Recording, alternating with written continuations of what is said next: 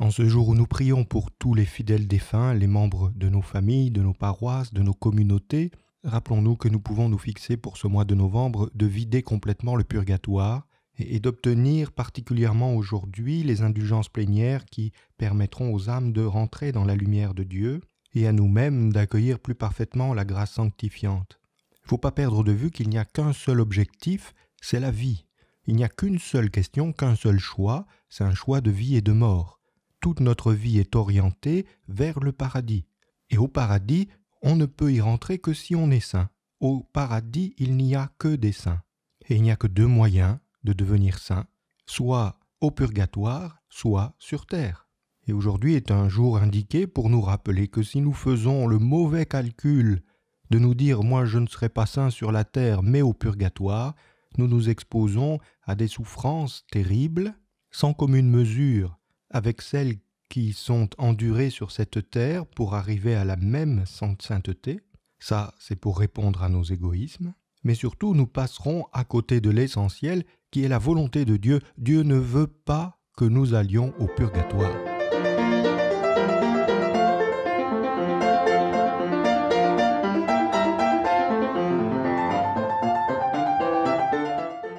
Vous écoutez Il est midi un podcast proposé par la famille de Saint-Joseph et présenté par le frère Dominique Joseph.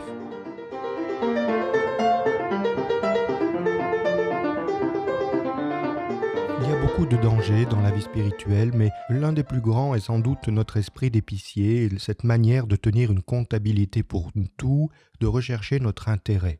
Dans l'amour, il n'y a que du désintérêt.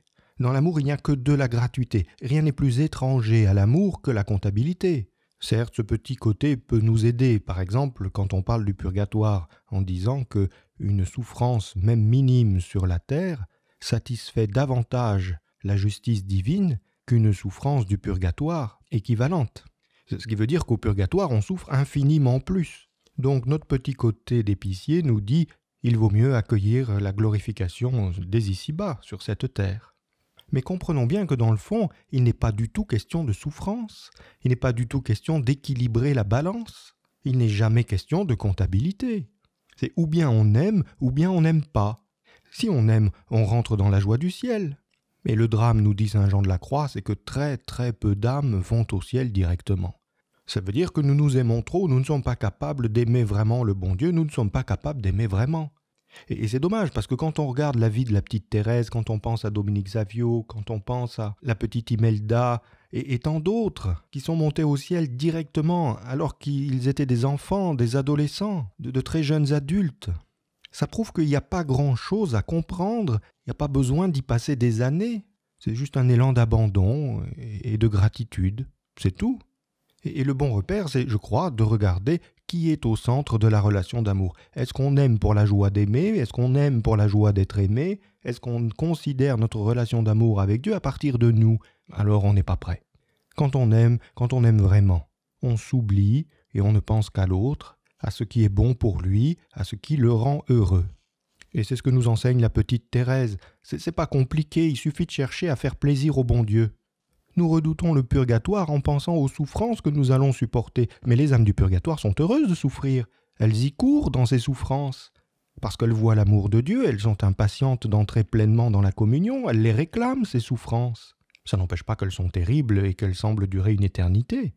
Mais, ça montre bien que quand on rentre enfin dans l'amour, on ne pense plus à soi et on ne compte pas ses souffrances. Non, la seule souffrance qui devrait étreindre notre cœur, qui devrait nous faire chanceler, et qui devrait contribuer à peser sur nos décisions, c'est la peur de décevoir le bon Dieu, la peur de ne pas lui faire plaisir, la peur de ne pas lui apporter une joie. Et si vraiment nous voulions lui plaire en toutes choses, alors nous serions saints à l'instant même. Il n'y a besoin que d'une seule seconde hein, pour être glorifié, il n'y a pas besoin de plus. Parce que Dieu veut qu'on soit pleinement ses enfants maintenant. et quand il doit envoyer quelqu'un au purgatoire, il le regrette infiniment. Ça va contre sa douceur, ça va contre sa tendresse de père, c'est pas du tout ce qu'il veut pour ses enfants. Alors oui, il est possible de ne pas aller au purgatoire. Non pas par une décision, oh ben moi je veux pas y aller donc j'irai pas, ça c'est une enfant têtue, une enfant gâtée qui raisonnerait comme ça, mais la petite Thérèse n'est pas ainsi. Elle, elle cherche à plaire à Dieu en toutes choses, et elle a confiance que son amour sanctificateur est aussi purificateur. À la confiance que si on se laisse aimer par le bon Dieu, il nous transforme.